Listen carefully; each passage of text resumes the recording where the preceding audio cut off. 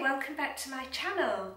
Um, in this video, well these coming videos, I'm going to be making curtains for Freddie's flat. There was lots of footage to wade through and it was very long because it is a long, laborious task making curtains. So we've split them up into three separate parts. So I hope you enjoy them. Thank you, bye. Hello and welcome back to Tickled Pink in London. Um, today I'm going to be showing you how to make curtains. Now I am not a professional curtain maker by any means so this is going to be like a step-by-step -step guide to making a simple pair of curtains. Originally I did think that the window lent itself to swags and tails. They would have looked lovely but that is far, far beyond me. Over the next few days I'm just going to be making the curtains for a bedroom. I've got some beautiful fabrics to use from Iliv. First of all, this is the this is the fabric for the curtains. This gorgeous satin stripe and the linings, they're going to be very nice. I've never lined curtains in fabric like this before um, so they should look lovely. Uh, so the fabrics were from Iliv I got the rest of the bits and pieces from John Lewis. So in here we have, this is the Rufflette tape. Actually, it's not called Rufflette tape, it's called heading tape. Um, I've got interlining. So this is a lining that goes in between the fabric and the lining. It goes inside. Um, it's, it's slightly thick and it just gives the curtains a real luxurious feel. I really, really regret not interlining my lounge curtains. Um, I'd like to take them all apart and put, put it in because it really does make a difference. And thread. Okay, first thing to do is to go and measure the window. So Freddie's just, I've just um, taped a whole thing of me explaining about the curtains and, and when I'd finished Freddie just said, that made no sense at all. I've no idea what you were talking about, so I'm going to try and make it a bit simpler. If you've never made curtains before, in fact the only people that are going to be watching this video are people that have never made curtains before, so I'm going to try and make it simple. Obviously, this is the width of the fabric, so oh, I can't take it out. So that's not going to look very nice, is it? It needs to be gathered. And the more gathers in it, the nicer it will be. So um, I'm going to have a width and a half, this is the width, a width and a half in each curtain. Does that make sense, Freddie? Right, that makes sense. Now obviously I have measured this before, that's how we knew how much fabric to order, but I just can't remember, I'm going to cut them out now, so I need to just double check. So Freddie, can you help me? So we need to pretend, really we should have the rail up. So let's pretend that the curtain track is three inches above, which is there, yeah? Mm -hmm. Okay, so from the top of the curtain track. Just hold on lower, lower. Lower? A bit lower. What do you mean a bit lower? Oh, right. You're pushing it up. There. Okay. Right, so 101 inches. Is that right? Just hold it up again. Hold it again. This tape measure's awful. Just remember, because I'll forget.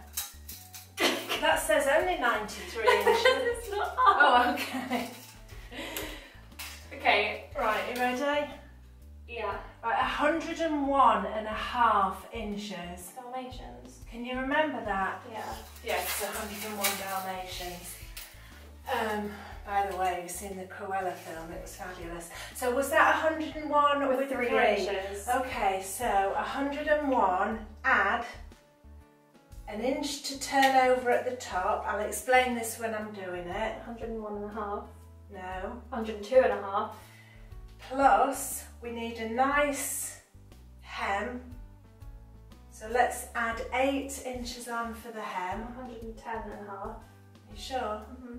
110 and a half inches. Okay, so what I need are three lengths of 110 inches. Yeah? Mm-hmm. Okay. Because it's a width and a half, right? So you're doing one width, one width, Yeah. half, half. So that makes three, right? Yeah. Yeah. That makes sense now. So, yeah. Okay, let's cut them out. This is really nice because it's obviously been sent from the factory and there's a really nice straight edge. Often when you buy it from, uh, from a fabric shop, there's big um, squares taken out where people have um, taken samples. And then you've got to start like make your own line which I always find really nerve-wracking. But this this is great. This is going to be easy.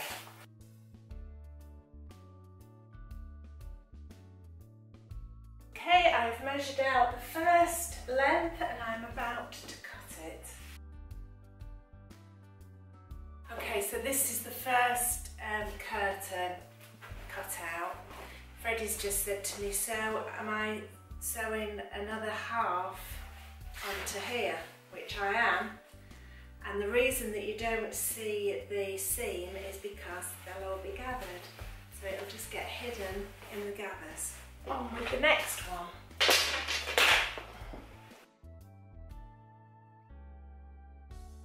Oh my god, I'm panicking now because there's loads of fabric left over. Imagine if I've cut them too short, I'm just going to have to go and remeasure. It's fine, I've just checked and like Freddie just pointed out, we ordered extra to do the valance. That's why there's so much left. But I'm not sure there's enough left to do the valance. But anyway, I'm not worrying about that now. Actually, it might be better without the rug.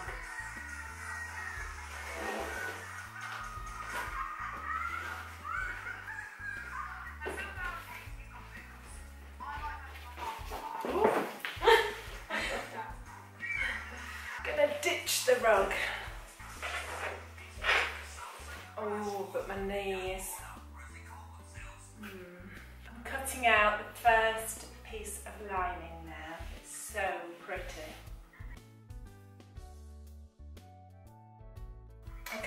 Going to switch the camera off and cut the other two pieces of lining out because I don't want this to turn into a feature length film. So with the last two pieces of lining that I cut out, I decided um, instead of measuring it to use this floor. So I hope whoever laid the floors laid it straight because I was just using the lines on this wooden flooring, which is what I'm going to do now to cut out the interlining. Hello, it's the next day. It got a bit late last night. So the first thing I'm going to do today is to cut the third drop of material in half and make two big pieces. So I'll be doing the lining, the interlining and the fabric.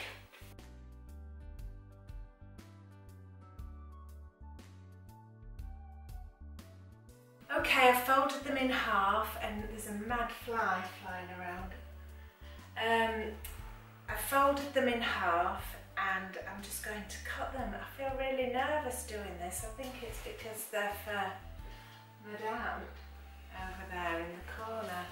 She's making me nervous. Okay, I've just been smoothing it all out with my big yardstick, a meter stick, and I'm now going to cut it in half. Actually, what I should do is um, crease, and then cut it straight. I'm going to do that. I used to be really good at sewing and I just cannot remember what to do. I'm trying to fill the bobbin with this colour. Um, but I really just don't know how to do it.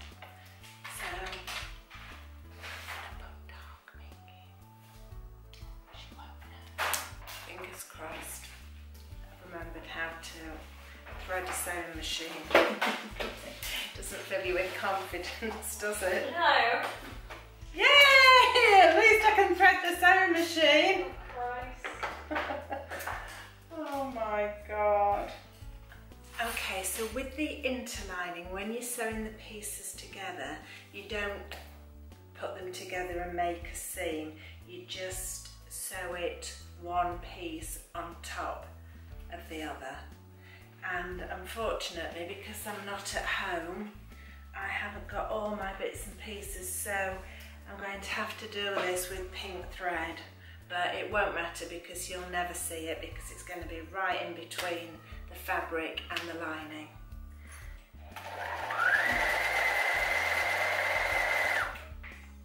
Sewing machine light isn't, there must be a loose connection because it's flashing as I'm sewing. I feel like I'm in a disco. Okay, I am now sewing the two pieces of lining together. So right sides together, this is the fat width, this is the half width. Can you see? So I'm just sewing them together to make one big piece. Have done that. So now I just need to press the seam open. Um, that's the most important thing when you're making curtains, to press them at every stage. And I mean iron. I don't know if it was Coco or Freddie, but I remember one of them once saying, why do you press them? They thought I was gonna press them together. So iron them. The um, iron spitting a bit, what you should really do is put a clean tea towel over when you're doing anything like this. It is the wrong side, but even so, I don't know what would happen if a big dirty water splodge came out. Okay, so there is my nice seam. Look away now if you're a curtain maker because I am really making this next bit up. Um, I'm trying to work out in my head how to get the interlining into the middle. I really don't want to hand sew these curtains any more than I have to because they're so big. Um, so what I'm going to do, and I don't know if this is the right thing to do, I hope Freddie can't hear me. Um, what I'm going to do, I'm going to sew the interlining onto the lining and treat it as if it's one piece of fabric. So I'm not sure how I'm going to do that, but I'm going to try. I've had to come in the bedroom because there's more floor space. So I've um, put the lining on the floor. I'm trying to smooth it out with this stick but I'm not doing a very good job really because I can't walk around the edge so every time I stand on it so I'm going to try not to worry about that and put the the other piece on top. I'll put the seams together so that's the small piece this is the wide piece over it.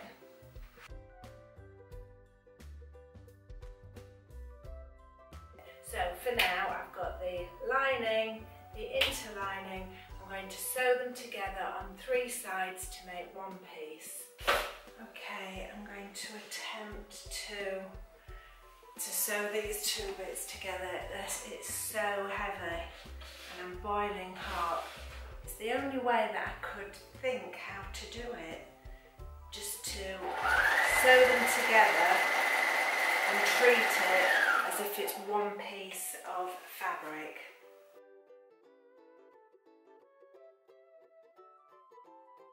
Okay, so I need to decide now whether to do the other curtain exactly the same or whether to carry on with this and see if it will actually work.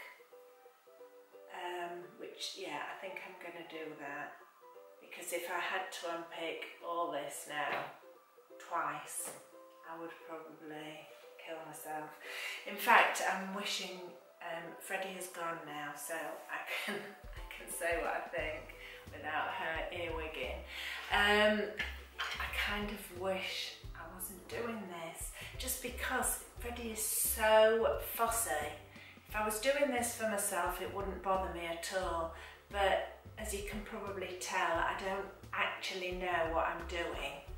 Um, I thought I did until today, uh, but when I couldn't even remember how to thread the machine, I, that should have been a warning to me. Um, so yes, I'm going to carry on with this curtain. Okay, I am just about to join these two pieces together. Um, being careful to, I've got the satin stripe matched up. So I'm just pressing the seam open. I'm absolutely starving hungry. Freddie's gone. So I've just had a rummage in her cupboard. I found a tin of fudge, which I've eaten, and the fridge is just the only thing in the fridge are bottles and bottles of champagne, which I'd better not start on that, as I've got to drive home. She doesn't even drink. What a waste. This is a nightmare. Right, okay, this is my curtain. This is the, uh, the right hand, if you're looking at the window, this is the right hand curtain. It's been joined together. There we are, there's the, the seam down there. So this is the right hand curtain because you want the bulk of the fabric, um, that's the central bit, um, not to have the seam. So that will be towards the edge and hopefully you won't see it. So I need to spread this out and this lounge is huge but it is still not big enough to do this properly. Um, I've given up trying to um, get my stick and smooth it out because there's just no point. It's, um, I keep having to stand on it. So this is the right hand curtain face facing me, the right side out. Okay?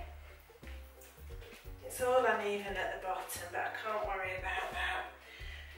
Then this is also the right hand lining. Um, there's the there's the thin bit there's the thick bit. And I need to put this on the top so it's right sides together. So it's right sides facing each other. And hopefully, all I'm going to have to do is can you, Um, hopefully, all I'm going to do is machine stitch down the sides and along the top and I'm going to forget about the hem for now. Um, it's too stressful to think about the hem. So that's what I'm going to do. Uh, suppose I'll pin each side as I do it. Yeah, so oh, that's my that's where my tape measure went. Oh. Right, so I am going to oh, hope my feet clean. Yeah. So I'm going to pin the edges first. Um, can you see me? I'm going to pin the edges leaving a great big, a big nice, um, whatever the word is, I don't know what it's called. I'm going to leave two inches about. So I'm really making like a great big bag that I'm going to turn inside out.